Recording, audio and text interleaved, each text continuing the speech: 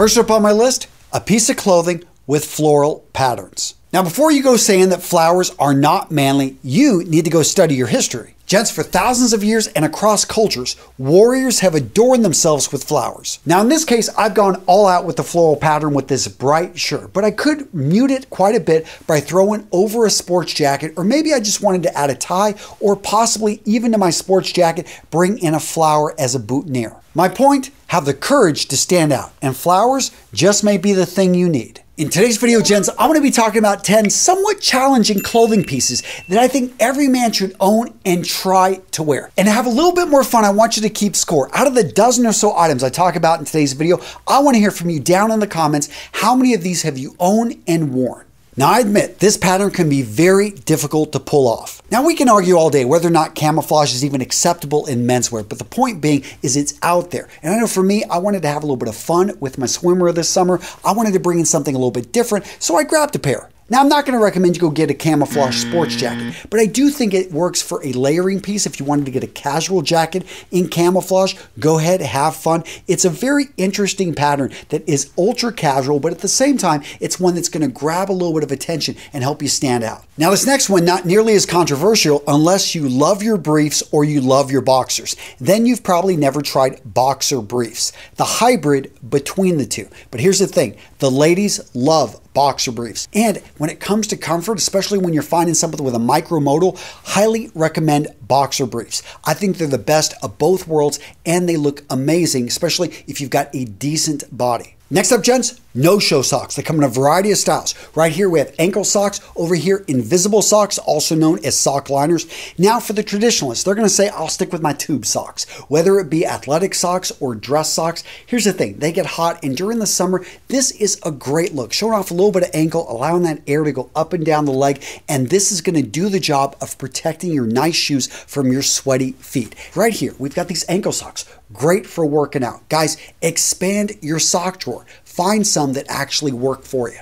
Next up, buy and wear a fragrance that's the polar opposite of what you normally wear. Now, a lot of guys have a signature fragrance, and that's awesome, but they stick with one thing. Maybe it's oceanic, maybe it's got a tobacco smell to it, maybe it's a syrupy, really sweet fragrance. Well, try something totally different, like maybe a woody aromatic. Right here, I've got Dunhill Icon Racing. This one right here, the top note, we've got a little bit of bergamot, but we've also got orange blossom. It's just a very interesting mix with lavender, and all of a sudden you get the cardamom, so you got the aromatic smell to it. At the bottom, we've got a little bit of musk, but here's the thing if you stick with what you already know and you never try anything like like this, you're not going to be exposed to the possibility. Now, guys, when I bought this fragrance the other day, I got an amazing deal because not only did I get the fragrance, but I bought it as a set. I got a shower gel, I got an aftershave balm, I got a one ounce sample for 70% off over at Nordstrom Rack, the sponsor of today's video. Now, gents, every product you're seeing in today's video, every shirt I'm wearing, I picked up over at Nordstrom Rack. If you haven't checked out Nordstrom Rack, you're going to be in for a treat. It's the brands you want at the prices that you want. And that's what I love about these guys is that they've got tons of different products, tons of different brands. Anything you're looking for to build up your wardrobe, you can find it over at Nordstrom Rack for up to 70% off. Now, gents, I did get a credit to spend money over at Nordstrom Rack, but I'll tell you, I spent a lot more than the credit they gave me because I just loved all the items. They had some amazing deals. So when you're shopping at Nordstrom Rack, a couple things to pay attention to. First up, go visit the site frequently. They're always adding new items. So if you're looking for a particular watch, a pair of sunglasses, you want a particular type of jean, go over there and check, look through their database, see if you can find your size in the color that you exactly want. Next up, go check out their app. If you want to be the first person to know about their flash sales, about markdowns, about when they've got new inventory, you want to be using the app. The app is really simple and it's really clean navigation so you can go in there and you can find exactly what you're looking for. And three, they're a lot more than just clothing. So if you're looking for shoes, if you're looking for fragrances, you're looking for home items, guys, go explore Nordstrom Rack tons of deals on the designers, on the brands that you're looking for. Like I said, gents, I shop at Nordstrom Rack with my own money because there are amazing deals there. So use that link down in the description. Go explore this website. Tons of great deals. If you want to save up to 70% on the brands you love, you want to check out Nordstrom Rack. Next up on the list, we've got the short sleeve button down. Now, unless you've got the body of Adonis or you spend a lot of time in the gym on your arms, this can be a style that maybe you're a little bit self-conscious about. I know, me being a thinner guy, this is a style I've generally avoided. But if you can find a shirt that fits you well, maybe tighten up those sleeves a bit. This one is just off the rack. I've not had a chance to adjust it. I think I could pull this off. What do you guys think? Let me know in the comments. I do think, in general, if you're really thin, maybe wearing a longer sleeve and rolling up those sleeves a bit to the forearm is going to look better. But in general, you know, there are a lot of options when it comes to this shirt style. Speaking of the shirt style, let's talk about the pattern. It's going to get a little bit closer here. Notice the paisley. Next pattern and next point I want to bring in, I think men should bring more paisley into their wardrobe. Do you need to bring it in on a shirt? Not necessarily. You could bring it in on a pocket square or even a necktie, but a very easy way to bring a classic pattern from India into your wardrobe, and I think it really just is an eye catcher. Next up on our list of somewhat challenging items that every man should have in his wardrobe a lightweight white linen shirt. So I'm going with white and lightweight because this is about summer wear. This is about matching a wide variety of items in your wardrobe. Now, a lot of guys avoid linen because of the wrinkles. And yes, that's true. You're going to have to iron this shirt.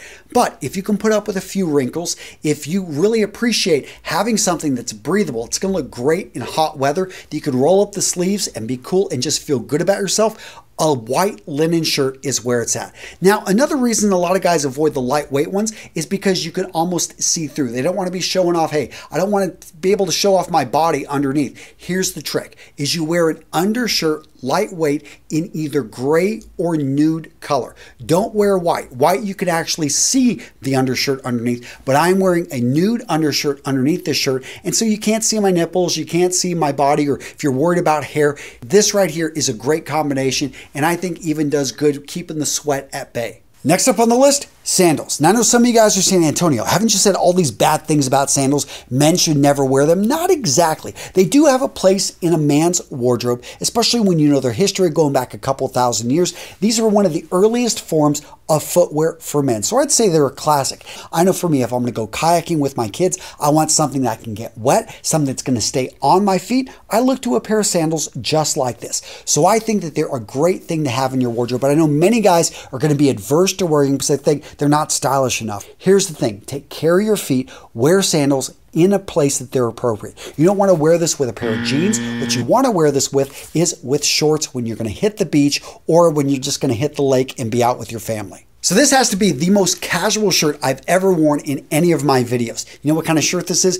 It's a baseball shirt. So those of you familiar with the sport, this shirt was developed because it was supposed to keep the arms a little bit warmer and the idea was it was going to prevent injury. Now you notice the raglan sleeve. This is a very unique type of sleeve in which is actually sewn up here. So we don't have it cut off right here. So it gives you more freedom of movement. The idea is this is a good athletic shirt. So if I'm going to go work out, if I'm going to go for a run, run, if I just want something a little bit different than a regular t-shirt, this is a great option. Now, it's ultra casual. I'm not going to recommend you wear this just with a pair of jeans, but maybe if you're going to go meet your, some of your friends, you want to wear a good fitted jeans with maybe a leather jacket over it, you could pull off this look. Point being is I'm having a lot of fun with a very casual shirt, still bringing in style. And who knows, for your situation, you may find a way to be able to bring this into your wardrobe and rock the look. Now, this next tip I may get a little bit of flack for, but I think that a guy should try slimming down on his jeans. I'm not saying you have to go skinny. What I am saying though is if you normally wear regular cut or a boot cut or a wide cut, why not try a little bit more of a tapered cut? Go for a slim cut. Slim is not skinny. You're going for something that's just going to fit a little bit closer to the legs. I'm not saying you got to go in tighter at the waist. If you wear a 34 on the waist, stick with a 34. But again, go for a different style. And that right there can make a huge difference in the look of your denim. As you can see, I've changed shirts and I've now got on a v-neck. I've talked about v-necks in the past, so I'm not going to count it as one of my points. But remember, gents, a v-neck just looks amazing because it draws attention right here to the V, makes your chest look a little bit bigger, and I think overall is much more stylish than regular crew necks. But what I want to talk about here is seersucker. If you're not familiar with seersucker, this is a three-dimensional weave that allows air to pass through the cotton. It was developed in the South, and you're going to see seersucker suits. I'm not saying you got to go there, but I am saying look to seersucker shorts. So you don't always have to go for a striped pattern like this. This is going to be actually common in seersucker, but you could also go with a solid. The point is you go for a very lightweight, breathable cotton weave that just allows your crotch area in that area to breathe. It's an amazing material if you've never tried it. All right, Jen, so now it's your turn. All the items I talked about, how many have you owned or worn? I want to hear from you down in the comments. Did you get a perfect score or were there a few items that you did not have, you've never tried? If so, let me know down in the comments. So, what video to watch next? How about seven modern shoe styles that every man should own? What are these styles? Find out, gents, in this video right here.